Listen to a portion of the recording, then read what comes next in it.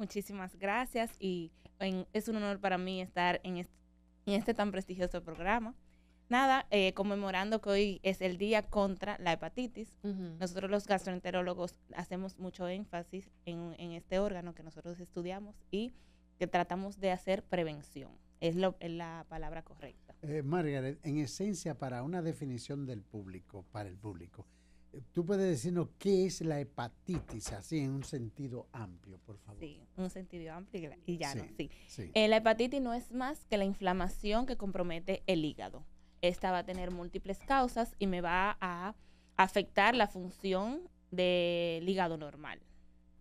Vamos a decirlo así. ¿Cuál es la función del hígado? Que mucha gente, yo, ¿qué, hace el hígado en el cuerpo? Bueno, eh, de una manera llana ¿Eh? y porque claro podríamos pasarnos el programa entero y nos faltaría más para hacer. Pero vamos a educarnos todos. Exacto. Eh, hablo por mí. El hígado podremos, eh, podríamos definirlo como el que filtra la sangre. Nos habla de, eh, o sea, es el órgano que filtra la sangre, nos ayuda con el metabolismo, a la degradación de las grasas por la producción de la bilis. Oh. Entonces también nos ayuda a lo que es la inmunidad, entre otras cosas. Entonces, ¿Cómo se afecta este órgano? O sea, ¿cuáles acciones yo, como humana, yo cometo que daño o que comprometo la salud de ese órgano, que es el hígado? ¿Cómo yo lo daño? Porque es, uno que lo daña. O también se daña de manera genética. Hay una forma que podemos tener la autoinmune, que es una de las eh, de los tipos de hepatitis. También tenemos las causas post eh, ingesta de alcohol.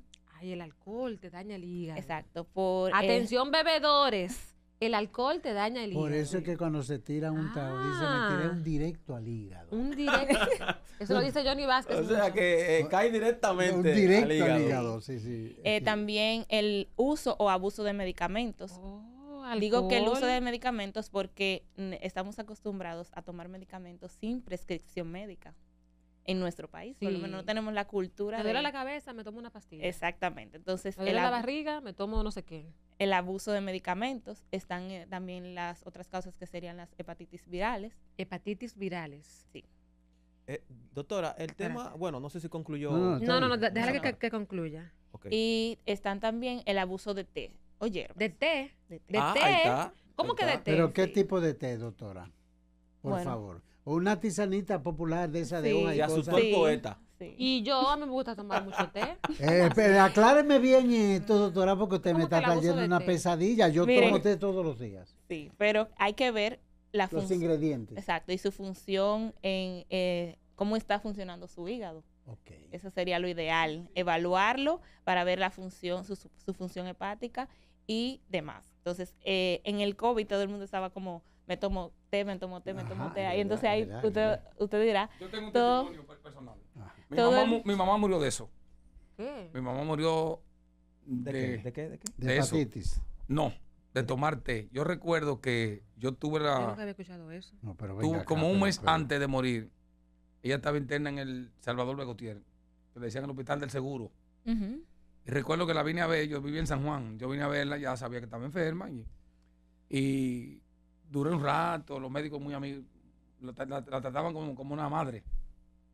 Y entonces ella cuando yo me iba, me voy, yo vuelvo, me dijo, mira, no tome té. Dios mío, padre. Pues yo, no tome té. Voy por mal camino. Parece que el exceso ya hacía mucho té de guanábana, que yo llegué a tomar también cuando muchacho. Pero esa fue su advertencia cuando yo, cuando se nos despedimos, que después no, no volví a verla más, porque ya cuando vine murió. Y ella me dijo eso, y ahora recuerdo perfectamente que me dijo, no tome té. Porque ella ni, fumaba, ni tomaba alcohol, ni nada. Pero, ¿qué elementos, eh, doctora, a propósito de ese testimonio tuyo de tu mamá, qué, ingredientes, cuáles son los elementos que, que atacan al hígado? En un té, por ejemplo, vamos a suponer, para que usted me lo aclare, yo le pongo un poco de jengibre, canela, unos clavitos. Eh, y, Sabe muy bien, ¿verdad? Por cierto. Sí, Y hiervo eso, allá está Nelson eh, haciéndose la boca agua. Sí, ellos hiervo del equipo. Y entonces me lo tomo. ¿Qué elementos o cómo esos elementos se conjugan para afectar el hígado? Ahora yo le voy a hacer la pregunta. Ah. ¿Para qué generalmente nosotros tomamos té? como medicamento, no, como yo me para lo tomo la gripe. Como un estimulante, por ejemplo, cuando me levanto, algo caliente, porque me ayuda a las funciones digestivas y al sistema gastrointestinal. Me ayuda, me favorece. La expulsión de los elementos naturales del cuerpo es cómoda porque he metido algo caliente en el sistema. en ese sentido me ha favorecido. por eso yo le hago. ¿Cree usted yo no estoy cuestionando lo que usted dice, sino ¿En qué sentido? Vamos a ver. Vamos a para que ustedes eh, ya eliminen eso. Bueno, siga, doctora, por favor. Eh, todo en exceso, decíamos antes, antes de iniciar, es, es dañino para nosotros. Pero los test en sí tienen toxinas. Entonces, hay hepatitis por abuso de toxinas, como por abuso de oh, medicamentos. Ok, ok, entendí. Doctora, eh, sí. adelante, mi amor. No tomen té, ya ustedes saben que eso no, hace que no lo tomen en exceso. hace daño. El exceso de té. no tome, entonces no tome alcohol, no beba no, no, yo no tomo alcohol. Una cervecita no es alcohol. Es lo que se tira un directo al hígado. No, no, no, no. Yo ah. nunca he tomado alcohol, ron. No. A mí me regalan un whisky y lo, y lo, regalo. Siga. Doctora, mire, sí. eh, con el tema de las grasas. Él quiere buscar compañero en, en la derrota de él con el té. Con el tema de las grasas. ¿Qué tan perjudicial ah, puede ser el consumo de, eh, grasa, consumo de grasa en el hígado? Bueno, en el hígado, como le decía, eh, excreta la, excreta la bilis para la emulsión de las grasas o la degradación de las grasas. Entonces, eh, vuelvo y repito, todo en exceso hace daño. Esa es la palabra. Si tu hígado no está funcionando bien, no va a degradar bien las grasas y entonces posteriormente nos va a afectar. El colesterol alto nos va a afectar el hígado. Los triglicéridos altos nos va, nos va a afectar el hígado. Okay. Segunda pregunta, doctor. No, no, eh, eh, discúlpeme. lo que procede entonces ahí es hacer, hacer una analítica Tú preguntas mucho y traes muchas doctoras. No me han dejado preguntar, ¿eh? además, no, doctora muy linda. Me doctora, eso entonces se determina. Escúcheme, Dios mío, pero tranquilícense. Patricia, controla el orden. Vine interesado. No, pero espérense. Patricia, controla. Esto es el público lo está oyendo. Lo primero es la analítica, ¿verdad? Haces un análisis en materia, por ejemplo, yo tengo que hacerme ahora una una sonografía porque el, el me está creciendo. Dicen que la cerveza y eso. Dicen, ah, pero usted acaba de decir que no bebe. No, no, no, porque cerveza y, Yo estoy poniendo cerveza y alcohol es diferente. Ah, la cerveza no tiene eh, alcohol, ¿verdad que no? Sí. Entonces, eh, eh, para determinar eso que usted plantea, previo a eso hay que hacer una analítica. Entonces, ¿cuál es el procedimiento? Bueno, lo ideal sería evaluarse por su médico de cabecera y idealmente por un gastroenterólogo, donde vamos a evaluar la función hepática eh, con algunas analíticas como son la transaminasa, eh, que son el ALT, la ST, las bilirrubinas, entre otras. Okay. Doctora, eh, la hepatitis, el tema de la hepatitis, quizás hay gente, ok, una hepatitis, pero yo escucho hepatitis B hepatitis C. hepatitis A. ¿Qué es eso? O sea, ¿cuál es la diferencia de una, de la otra? ¿Cuál es más grave? Eh, ¿Por qué le ponen ese nombre? B, C. Hable de eso, doctora, por favor. Bueno, tenemos una clasificación de hepatitis virales, que existen cinco hepatitis virales, no solamente hepatitis B y hepatitis C. Ah, existen cinco. de la A a la E, oh. siendo la más perjudicial la hepatitis B. Tenemos la hepatitis A, que es eh, debida a transmisión fecal oral la hepatitis fecal oral, sí, por eh, alimentos contaminados, con heces, agua contaminadas con heces eh, eh contaminadas, exacto, contaminadas.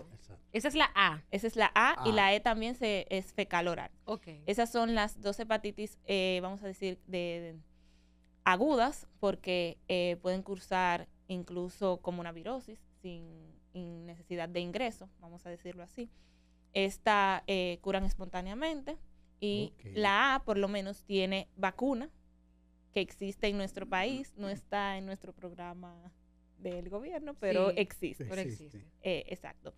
Eh, tenemos también lo que es la hepatitis B, que es una de las hepatitis que puede llegar a la cronificación. La cronificación. Exacto, la B.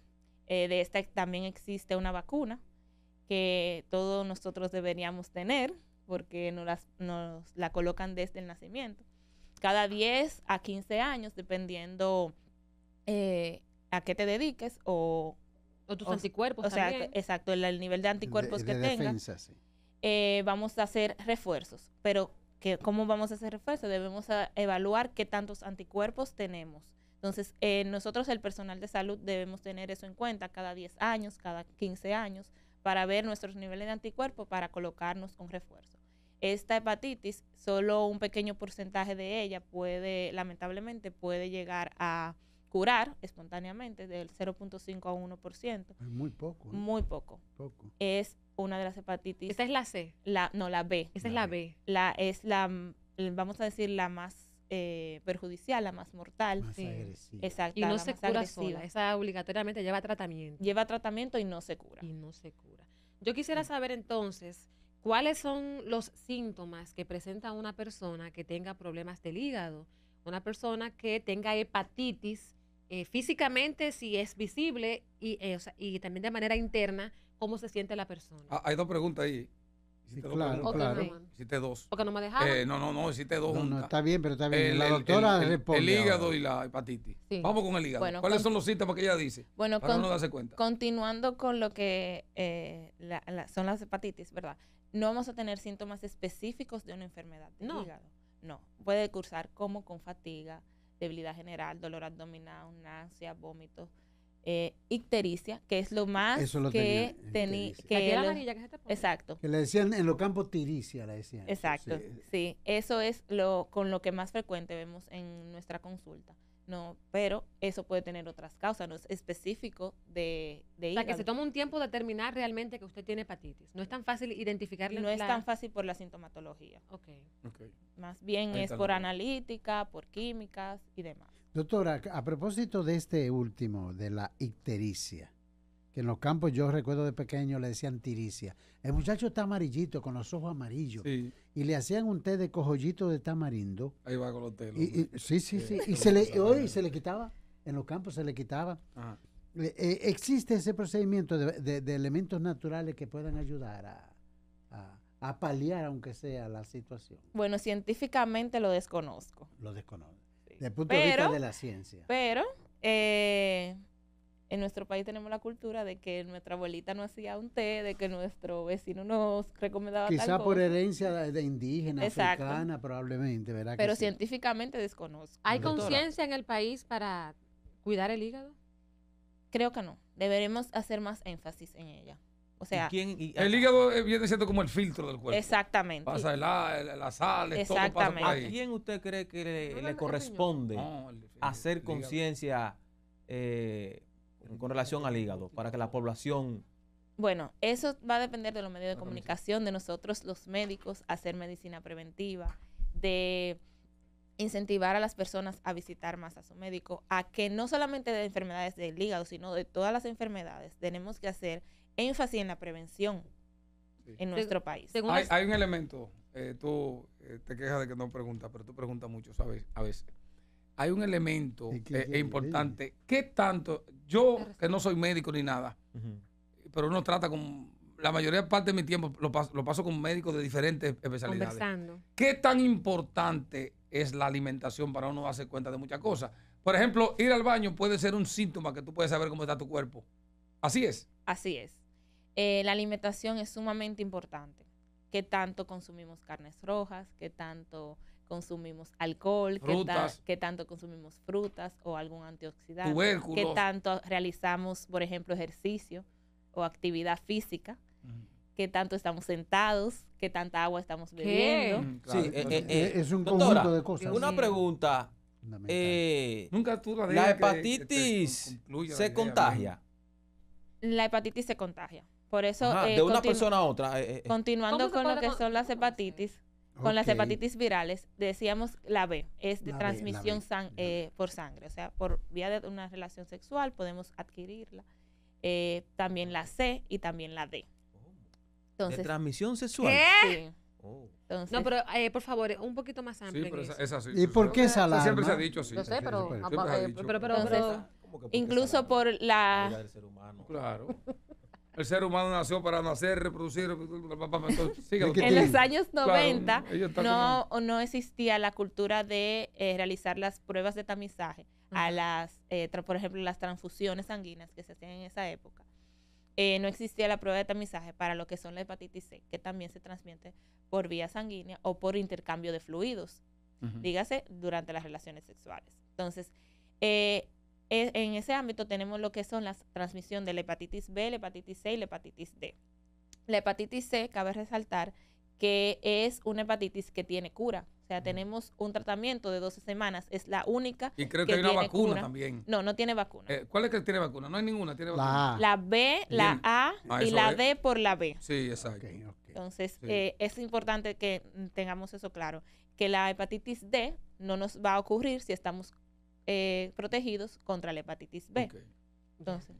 usted también es especialista en colocar balón gástrico eh, me encantaría saber ¿Qué es eso, el balón gástrico? ¿Qué es el balón gástrico? ¿Quiénes califican para el balón gástrico? Yo que tengo una pancita que no se va con ejercicios, ¿me no, puedo no, colocar no, un Lo que pasa es que tu panza es fabricada por la comida. la boca de ella no se para. Nada más quieren desacreditarme. Hasta las 2 de la mañana usted le da hierro y hierro come. Entonces ella es por eso. Usted le da hierro. Me están difamando Usted le da eh, bizcocho a las 5 de la mañana. Él no va a dejar que usted lo diga. No, pero es para, es para ilustrar al tribunal. Patricia, yo no puedo creer eso. No, es que todo eso es mentira. Todo eso es mentira. Sigue, mi amor. Mire, me voy, porque el día que yo hable mentira me voy. Bueno, el, balón gástrico es un dispositivo que nosotros estamos colocando de un material de silicón. Es un procedimiento mínimamente invasivo donde se realiza mediante endoscopía y califican a aquellas personas en las que han utilizado múltiples métodos para disminuir de peso y no hemos logrado el objetivo. El objetivo. Endoscopía, doctora, entonces explíqueme. Oh, oh. Para Johnny Back en especial, pero para todo. Entonces, ¿por cuál de los conductos se introduce ese balón gástrico? ¿Por la boquita? Ah. que lleva una ah. camarita. Le tengo otra pregunta. pero, esta, para pero, déjame la que te mire. pero ya, ya le digo. No, no, no, ¿Por qué lugar ya le dicen? No, no, no. ¿Pero no. qué cosa? No, no, no. Primero eh, se hace una Amplíeme esto, doctora. Por Sáquela de la entrevista de Douglas, porque es que no se puede. Previo a la colocación del balón, hacemos una endoscopía. Ah, eh, vemos primero la mucosa, eh, gástrica. Y él sabe más que la endoscopía la cámara que mete para saber todo el sistema. Pero déjamela ella. Pero usted sabe todo eso. Pero déjamela ella. No es para Douglas, yo no participo ya en entrevistas. Ábremele la puerta allí. Sígame, doctora, por favor. Siga, doctora. Entonces, luego de revisar bien la mucosa, de tomar biopsia, no puede callar, por Dios santo, de evaluar al paciente, entonces se procede a colocar el dispositivo, que es mediante eh, un, eh, previa endoscopía y luego la colocación del dispositivo se llena con una cantidad de líquidos X y se tinta con azul de metileno. Y se llena y esos líquidos son ¿cómo, ¿cómo, son esos líquidos? Porque se infla el baloncito en el Sí, con solución eh, salina. ellos saben los médicos. Oh, pero él no va a dejar que aquí hay un público que esté escuchando. Pero eh, yo tengo una pregunta que me Pero yo no he terminado. Pero ya, ya la doctora terminó. No, Pero usted va a seguir entonces. es una persona que por ejemplo está en sobrepeso que le ponen este tipo de balón. Sí, personas con un índice de masa corporal mayor de 27%. ¿Y qué se persigue con esto? se persigue eh, un peso más adecuado, un peso más saludable, que la persona eh, aumente su energía, su actividad física, que se eduque con la alimentación y que lleguemos a el peso ideal para ese tipo. Para Pero aquí, aquí hay otra pregunta, que es la que más me interesa a mí y a mucha gente. Que él le va a preguntar sí, sí, sí, sí. Voy a sacar a las mujeres para que no se ofendan. Originalmente nos preocupamos cuando tenemos el cuerpo normal, pero la barriga hace así, ¡dum! Que el caso que yo llevo, ya, ya yo soy hombre que cumplo 60 años. Pero ¿por qué? ¿Por qué eso? ¿Y cómo? Yo tengo, yo veo los, los ¿cómo se llama lo que ponen en internet? Tutoriales. Sí, yo veo para, practicar. Ah, Pero en el caso mío que, que me da poco tiempo para muchas cosas porque por el asunto tiene de, poco tiempo de médico, pero, tiene tiempo para la Pero no me ayude, poeta. Para la cerveza, que es lo Douglas, que dile al hombre que no me ayude. Mira, no, lo que quiero decir es. No lo voy a decir difamando a Patricia, ahora ya el turno mío. Ya el tiempo se está agotando. Sí, no lo voy a decir por la amiga, siento por mí, para que ella no se sienta. Pero yo me siento la barriga muy grande. ¿Cómo, a nivel, esto tiene que ser a nivel de, dieta, alimentación o cómo? Claro. Dieta, e, Es, ella la doctora, por favor, es ella. Sí, ah, adelante, doctora dieta, cambios en sus hábitos, por ejemplo, el alcohol, la cerveza, que es alcohol. Eso, eso, pero es ella, pero qué vaina, Douglas. es la doctora. Diga, Ay, Dios mío, porque él lo dice y yo no se lo creo, ahora me lo dice usted sí aumento de actividad física, mejora, mejora en la alimentación, colocar una alimentación más saludable, más balanceada, el consumo de agua, eh, hidratación. mucha agua, eh, eh, mucha fruta, ¿verdad? voy, voy aprendiendo por ahí. y disminuir, un poco la grasa, el azúcar, la grasa, ¿verdad? Y jugos, y disminuir un poco los jugos, porque para tú hacer un jugo, yo siempre digo, tú necesitas más de una fruta. Los jugos azucarados, el problema, ¿verdad? Y los jugos Ay, pero ella es la doctora. Usted utiliza ahora. Por ejemplo, si usted va a hacer un jugo de naranja, ¿cuántas naranjas usted oh, necesita para Mira, hacer anoche cené con jugo y dos galletitas porque estoy rebajando. mientras se come una naranja, ya es menos la Entonces elimino. es, es el interesado que está hablando. Entonces disminuyo las grasas, el alcohol, que ya dejé, tengo dos semanas que no tomo cerveza. La estoy contando. Y en tercer lugar, los jugos. Que por cierto cené con jugo, pero ya hoy voy a. Hago mucha agua, todo el agua que uno pueda. Y mejor coman la fruta. Mira, eh, ya. Ah, los jugos. Entonces Douglas ya murió. Los murió jugos, Melania. Los jugos, doctora, eh, la fruta trae su propio azúcar. Exactamente. No hay que estar. Los jugos naturales, ¿verdad? Pero para tú hacer un jugo, es como les decía, usted necesita más de una fruta. Y, y, encima de eso, entonces le agregamos azúcar. Sí. Por último, doctora, de mi parte, tengo una pregunta para ti. Adelante. No, no, y, ya el viejo no preguntó, yo 10. Por aquí, Elvis Danilo, Mateo Arias, Elvis Danilo, Mateo Arias, dice que si el café también incide eh, eh, para afectar el hígado. No hay una evidencia científica de que el café nos afecte el hígado.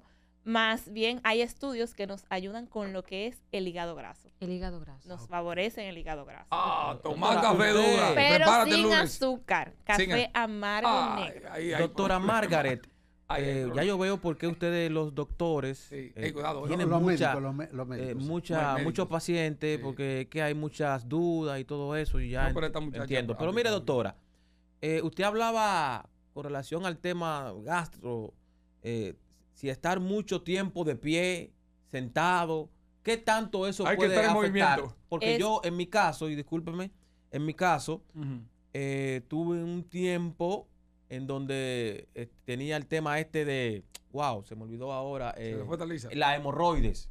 Entonces me decían, bueno, eso también te da cuando tú duras mucho tiempo sentado, mucho tiempo de pie la vida sedentaria. Exactamente, como decía.